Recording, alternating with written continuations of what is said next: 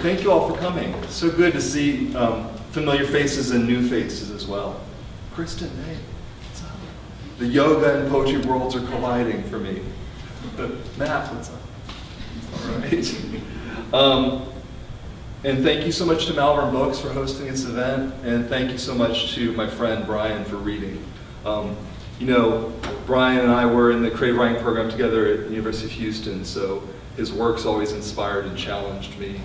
And um, when the folks at Malvern asked me if I knew of any local poets who might be interested in reading, uh, I immediately thought of Brian, so that was wonderful.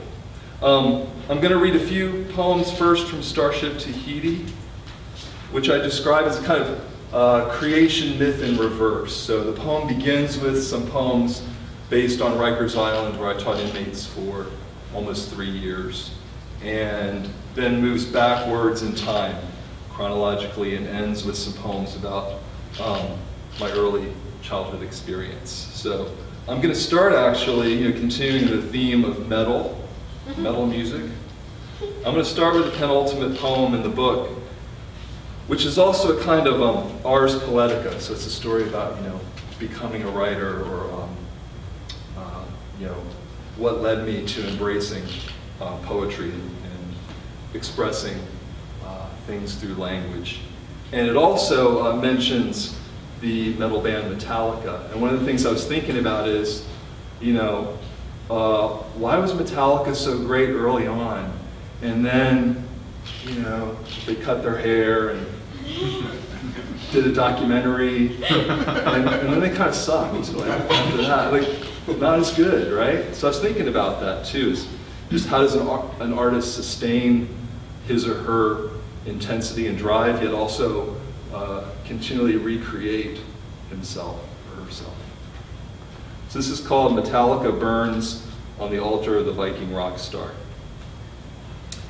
It was thrash in a steel town, day jobs as night managers, tending an oracle of gasoline fires and industrial accidents flaming suddenly into verse and chorus. They wanted to be poured into glass bottles and hurled. This was their first album, before detox, before therapy, forced to cut their hair and reflect. The awkward postures of youth resemble something molting, ripping through a hairy pod and spitting goo from its mandibles, waving its praying mantis limbs in a strobe-lit cloud of pheromones. The first recording I ever made was in the basement of my grandmother's house. My friend Charlie and I told stories into a tape player describing the exploits of Vikings who pillaged and fucked their way through southern Maryland. I'd read many fantasy novels, but I liked the cover illustrations best. Paintings of muscled heroes armed with swords and women clothed in animal skins, kneeling or chained or thrown over the hero's shoulder. My friend, a foster kid, showed me the scars on his stomach and legs from numerous skin grafts. When he was an infant, his mother dropped him in boiling water or spilled it on him, accidentally or not, and he was taken from her and raised by our neighbor, a drunken army lieutenant. I imagine him compelled to speak by an indescribable pain inflicted on him before he knew words. Our stories overlapped and entangled as we recorded them, stopped and replayed the tape to hear our voices. Thrill of an exotic beast captured, prowling the yard. The patterns of its striped coat shifting as its muscles lengthened.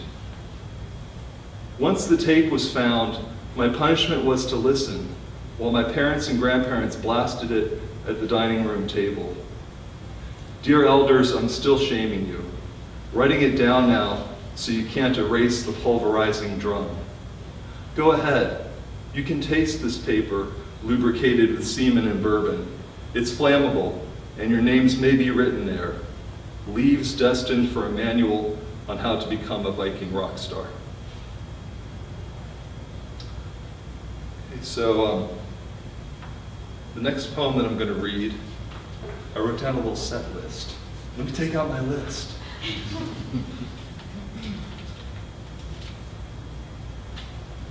Last night, um, my wife and I went to Stubbs for the first time, and we saw Eagles of Death Metal.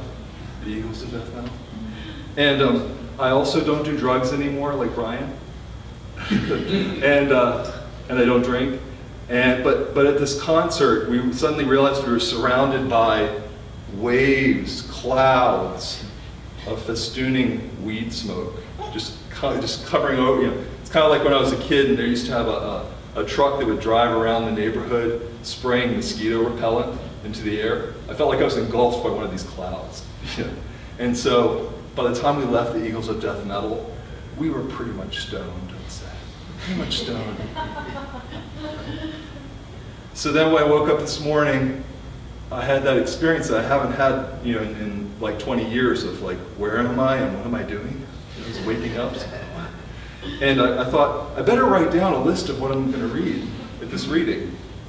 So um, this all actually relates to the poem I'm about to read, I promise you, which is called Feed Your Demons. And it's based on a, a practice in Tibetan Buddhism of visualizing uh, your demons, metaphorically speaking, your inner adversaries or um, forces within the self that you're in conflict with, and then asking those demons what they need for nourishment, and then imagining giving yourself over to those demons and providing them with that food. So um, this is called Feed Your Demons. If I feed them whiskey, pouring oak-stung blossoms down their throats, a wave of rash would plume my face, feathered like the Egyptian god Horus, his hawk's head streaked with gold.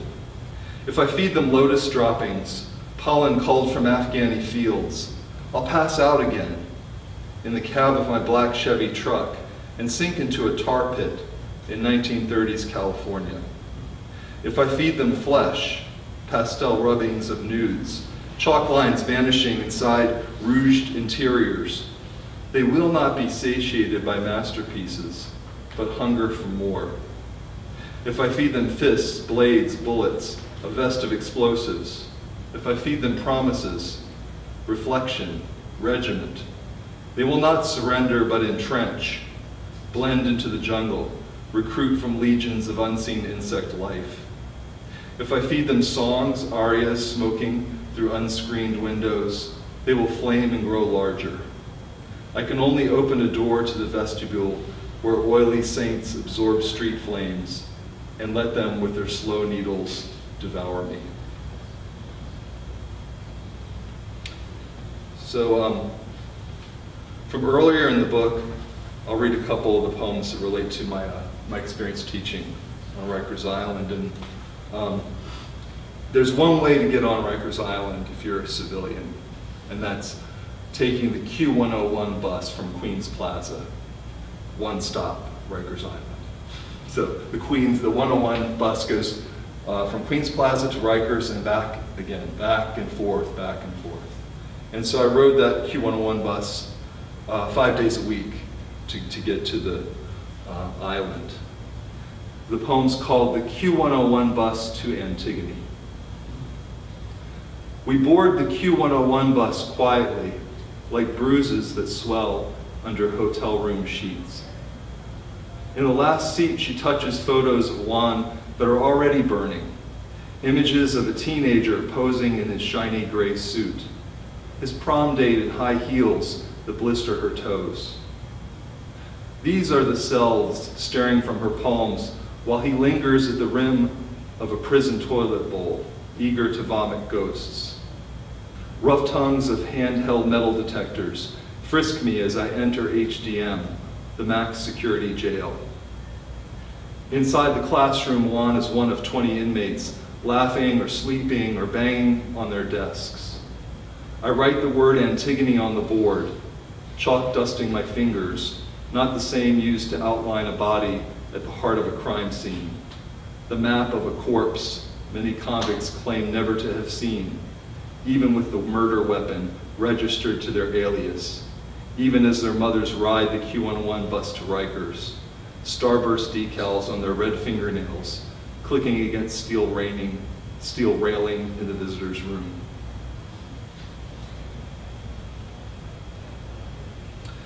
And then um, one of the things that is very important to prisoners are letters, for obvious reasons. And um, you know, I was teaching, basically I was teaching GED prep courses to inmates who were between 18 and 21 who had all dropped out of high school, but who were studying to get their GED. And in some cases they could get their um, high school diplomas. And so, entrez-vous, so, wherever you are. So, um, so I was teaching language arts. I was teaching language arts, and many times the inmates would bring me letters that they'd been working on and say, could you help me with this letter, right? And then sometimes they would say, could you take this letter and mail it? And at that I would have to say no, right? We weren't allowed to actually mail uh, things for inmates or to take anything out of the prison. Um, so this poem's called Prison Letters. Prison Letters. Heat sensors can detect where the prison censor's warm hands opened these letters, searching for a fault line in the gene code. Any lifeline to the outside that hasn't been destroyed. A letter that begins, Ramon, your mother is very ill. Please mention to your parole board. Whatever can be stolen and claimed by thieves is. Most perishable may be sent, letters soaked in perfumes or oils to conjure a wild garden of memory in the day room, a candlelit bathtub of floating rose petals, mingled with flashes of arrival on his knees crying like a bitch. Unless you separate them, these odors can cripple you. Rip your orange jumpsuit off your shoulders like the flimsy summer dress of a woman who asked you to protect her from your older brothers. These letters sent into a smoldering pit deeper than regret.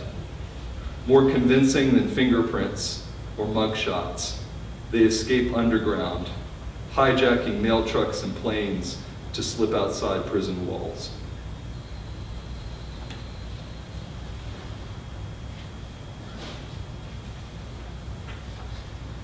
Has anyone here been to um, Portland, Oregon?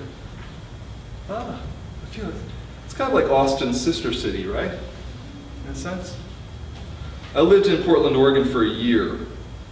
Um, this next poem that I'm about to read is set in Portland, Oregon. I lived in Portland, Oregon in 1996 and 1997, um, and I had this romantic idea that I was going to uh, work a blue collar job during the day and then write at night. So I got a job working in the Doc Martin warehouse as a forklift operator. And, um, and I was so exhausted after a 10 hour shift at the warehouse that I didn't really get much else done. Um, this is called, this poem's called Storming the Warehouse. One thing that I was doing before I left Portland was I was doing some training to work with homeless youths. And many of these homeless kids um, were, you know, skate punk kids who lived under the bridges uh, in Portland. Storming the Warehouse. Praise be the river finders and their currents of healing estuary. The yellow boombox throbbing on the motel dresser as she straddles me, her face pierced by fish hooks and beads the color of salmon eggs. I drive her back to the park where swaths of green bisect the city into encampments of corporate flow.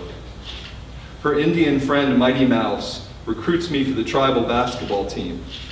We ain't so tall, but we got moves. Follow the river, purchase a board, and cruise to the skate park near the Columbia Bridge underpass. She swore I'd find them there, homeless kids they call trolls, soliciting tribute, goat shepherdesses selling broken staffs as Cerberus sprawls beside them, a duffel bag of greased barrels without triggers, afternoon stunt tricks and withdrawal, the king's men racing above from castle to castle, office high-rise to luxury condo.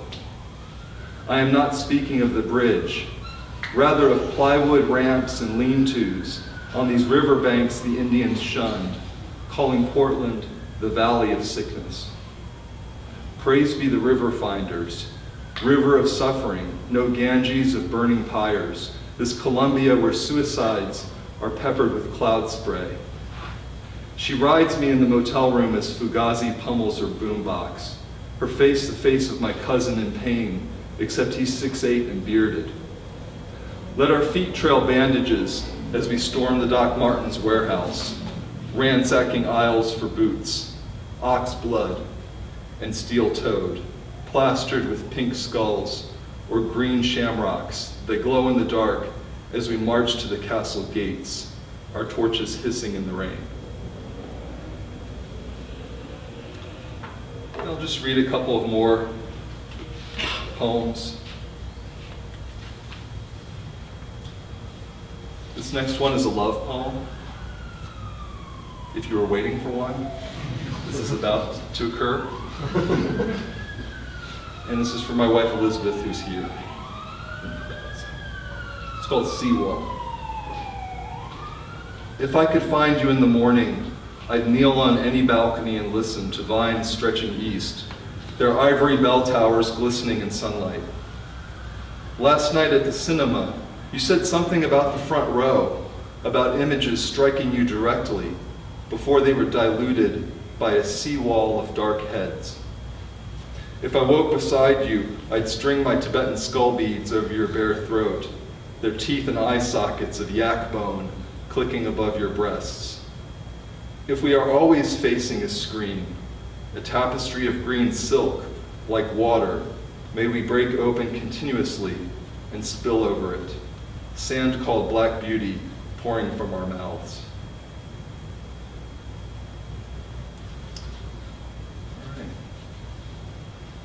This will be the last poem, I think. There actually is a sand called Black Beauty. My first job was at a nuclear, uh, a nuclear power plant. And um, I also was a forklift operator. So when I moved to Portland, I had credentials in forklift operation. And I, and I actually do remember the uh, sand that was called Black Beauty. They used the reactors. Um, I moved away to West Virginia and then to Pittsburgh in 2010. We lived in Pittsburgh for two years. And um, while we were living in West Virginia, I taught at a place called Bethany College for a couple of years. Um, we also visited a zoo which is the only accredited zoo in West Virginia, just called the Good Zoo. Good Zoo. Tiny zoo, it's only 30 acres, this zoo, right? But um, as we were looking at uh, going through this zoo, which was kind of like a wonderful respite from our lives in West Virginia, you know, to go to this really unusual place, um, we saw a golden lion marmoset you know, are you familiar with those creatures, those amazing creatures, the golden lion marmosets? Very small monkeys with these really uh, incredible manes, goldish red manes. And uh, believe it or not, back then, I had really long hair, and it was red. So that's kind of good to know for the poem. so uh, the U is like right here in the front row, actually the, the U is uh, my wife who's with me during this uh, travel, this, this trip to the good zoo. Golden Lion Marmoset. I've never seen an animal so much like you, she screams. He looks just like you when you're angry. the golden lion marmoset stares at us, his face scrunched like the knuckles of a leather glove weaponized with spikes, eyes lacquered with rage. Found only in Brazil, the sign reads, their native habitat of tropical rainforests reduced to 2%. 2% of what, I wonder? Maybe of its former foliated lushness, its phosphorus panthers and gajillionopedes? Or is it 2% of the total biosphere, the earth a coal miner in West Virginia put on bed rest, who sips oxygen through a straw and fixes to croak? I'm no monkey mama, because if I had 2% of anywhere less alien than myself in which to live, I'd assume full lotus and go nova. I've been an ape in hell, the Markman Theater in Steubenville, where the ticket taker saw the silk screen of Hanuman on my shirt and said, cool man, I like his Facebook page. The film about future and past versions of oneself slaughtering each other, she and I agreed especially the scenes with the boy whose telekinetic powers made people's bodies explode. If you are reading this and an older version of yourself has not yet returned to kill you, I am still 98% Golden Lion Marmoset. So are you.